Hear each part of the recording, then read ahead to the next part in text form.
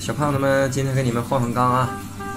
你们即将就要离开这个久住的小家了，来吧，是不是有一点点舍不得呀？呦呦呦，真的生气了，那也没有办法呀，最后一条了，走吧。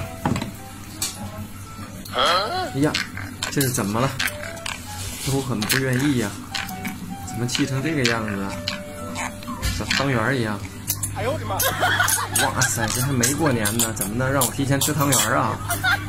下去吧，一个都不下去吗？这脾气都这么不好啊！快回去吧，回去吧，快去你们的新家吧。